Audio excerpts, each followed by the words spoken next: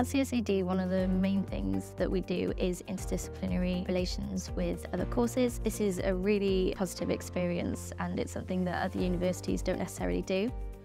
For this project, we got to work with textile students, which is something that I personally haven't done before, but it was really interesting to get a different perspective of the way they work. And it was really interesting to see how they focus more on the aesthetics of the outside of the product and obviously pattern design like this um, which is really interesting to see when working with product designers because we take a lot more focus on the ideation stages and it's also a really good way to connect with people in the university because we can use any of the facilities in CSAD so we can try out anything and now we have more connections to be able to go out and try those different facilities.